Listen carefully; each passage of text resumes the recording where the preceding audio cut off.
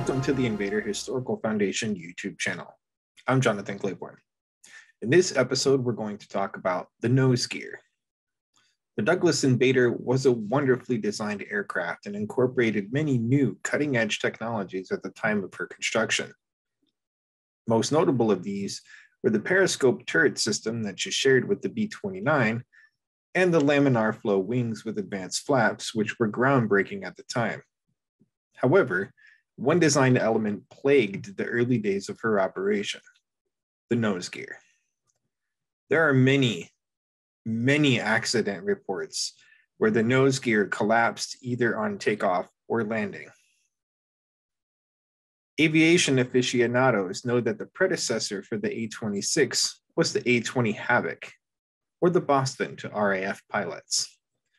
The nose wheel was not a problem on the A 20, so what changed? First, let's look at the nose gears from a head-on view. You can see that the nose gear for the A20 has a traditional fork, like on a bicycle or a motorcycle, where there's a support beam on either side of the wheel. However, on the A26, the support beam is only found on the pilot side of the plane. This is because that the A26's nose wheel does not work the same way as the A20's.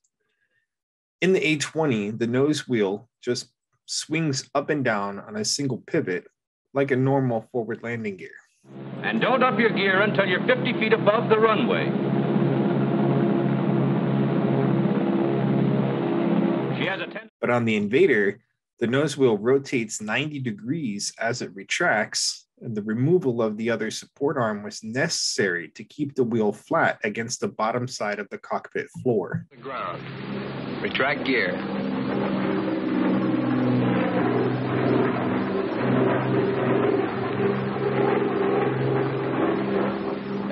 But why does the nose wheel in the Invader rotate at all?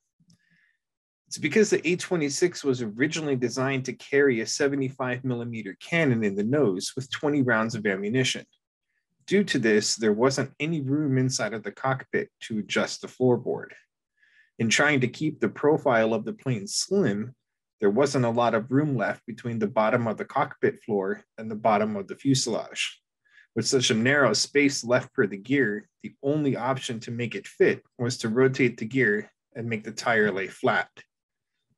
That rotational action was the direct result of why so many early invaders crashed with nose gear collapses. The gears either did not fully rotate forward again, or they didn't lock into position and failed. Douglas did redesign the nose gears somewhat to help combat this, but those changes did not go into effect until several hundred planes were already built. And those changes were still prone to failure if pins were missing, damaged, or the hydraulic system had a leak.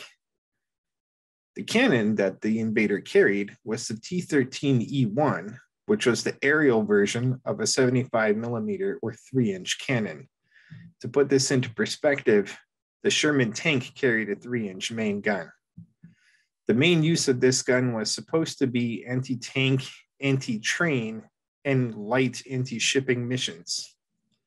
The Invader was not the only plane to have carried this gun. The B 25G Mitchells were also fitted with a 75 millimeter cannon in the nose. Despite having the same type of gun, the B 25's gun was installed further outboard on the plane and recessed further back so that the gun loader sat behind and below the pilot instead of beside him.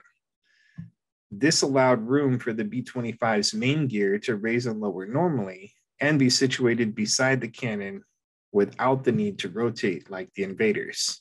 Thus, the B 25 Mitchells never experienced the nose gear issues that the invaders did. That's it for this video. Thanks for watching.